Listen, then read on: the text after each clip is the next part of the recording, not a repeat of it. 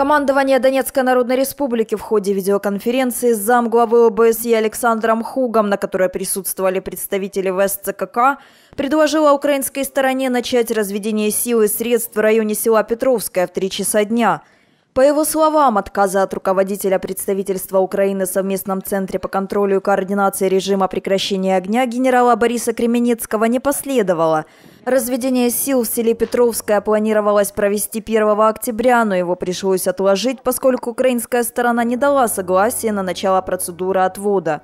Командование Донецкой Народной Республики накануне приступило к разведению сил в Петровском, несмотря на то, что украинская сторона еще не подтвердила отвод своих вооруженных сил. Мы, как договаривались, отвели силы и средства с тех занимаемых позиций на те, которые были определены Минскими рамочными соглашениями.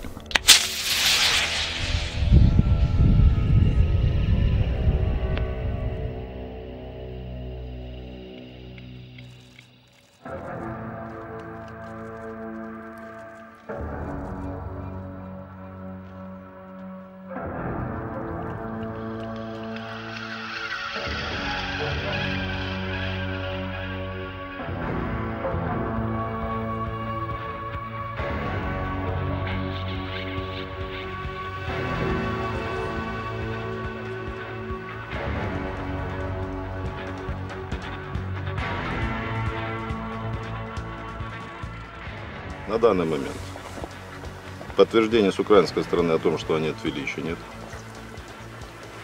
Им время дано до 16.00. Если подтверждения не будет, то подразделения вернутся на свои исходные позиции.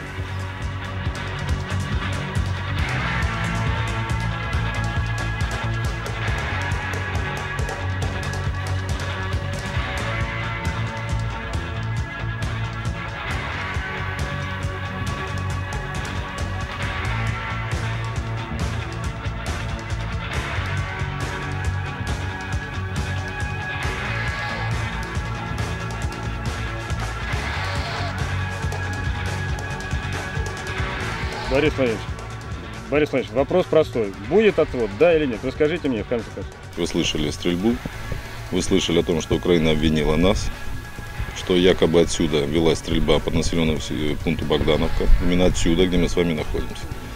У камеры я видел, у всех были включены, соответственно, звук у всех фиксировался, никто ничего этого не слышал. Ну, на основании этого они пытаются не сделать отвод своих подразделений. Мы возвращаемся на свои позиции.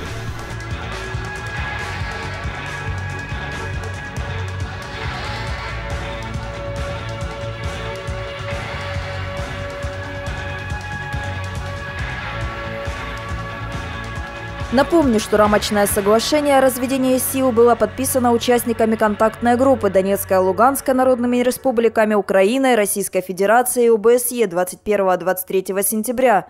Документ определяет порядок развода подразделений противоборствующих сторон на трех пилотных участках – Петровская, Донецкой Народной Республики, а также станица Луганская и Золотое в Луганской Народной Республике. Для каждого из участков определена зона отвода не менее двух километров в ширину и двух километров в глубину. Отвод войск так и не состоялся. Украинская сторона отказалась отводить свои войска до определенной линии разграничения. Марина Еремченко, Елена Чистякова специально для Новороссия ТВ.